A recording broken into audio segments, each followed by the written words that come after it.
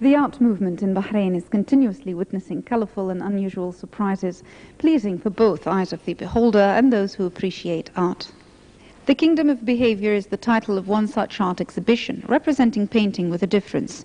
The show by Bahraini artist Abdulrahim Sharif featured 40 paintings, distinguished by their bright colors. There is no subject matter in my paintings.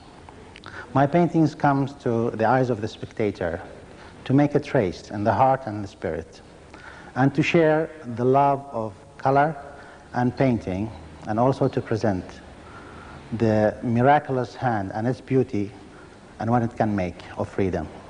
Mr. Sharif said his works were inspired from everyday experiences and would leave spectators thinking about them long after they leave the gallery. Faces is the title of a unique art exhibition. The show by artist Ibrahim Bu Saad, poet Qasim Haddad, and musician and singer Khalid al-Sheikh is the first of its kind to be organized in Bahrain. It incorporates the art of painting, music, and poetry, taking the audience into another dimension. The poet took words of his free verse poetry and pasted them onto a series of paintings of faces. Linking the words and art is the special music. The idea of the project was conceived two years ago.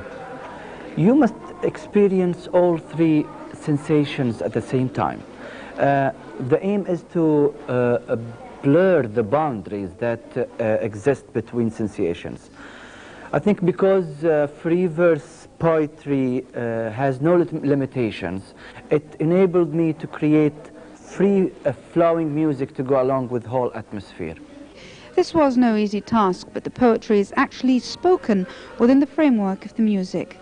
Khalid managed in the end to distill the essence of poetry into pure sound. The end result is this music cassette to serve as the exhibition background, playing songs written and composed exclusively to accompany the triple effort of Faces exhibition. From Bahrain Television, I'm Nada Mohammed for the CNN World Report.